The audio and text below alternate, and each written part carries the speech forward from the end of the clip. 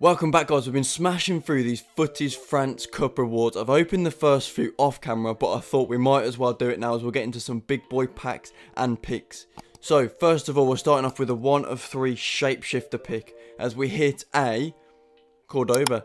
Not anyone that's going to get in the team, but great, great fodder at the moment.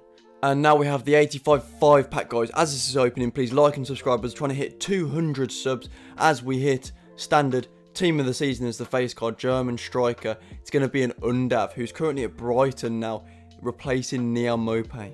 And behind him is going to be, again, just a fodder stacker really, isn't it? Five decent players for fodder. And now we've achieved 22 wins, which is an 85 times 10 pack, and we know how much we love these. We've hit a whole host of good players in these so far, and we are actually going to have a video coming with about 10 of them soon. This one starts with a team of the year for once, but it's going to be a Donnarumma, a goalkeeper. You always want to see centre mid, but Jorginho is actually quite rare. But 96 is the highest rated we've had in a while. And it's almost a full special card pack with only two golds and a lot of high rated there. We will take that Oscar duplicate. Very, very decent.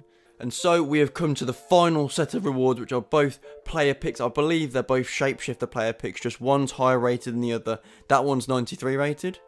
And this one's 94 rated, so we're going to start with the 93 plus one. There's a lot of big ones we can get in there, but we don't hit any of them. So we'll take a Dempsey because he gets better links for SBCs. And onto the 94 one. This could be huge with a hero perhaps. It is a hero, it's only a Joe Cole, but it is a hero and it is 96 rated. There you have it guys, they're the top tier end of the rewards for the France Cup. Please like and subscribe, and I'll see you in the next one.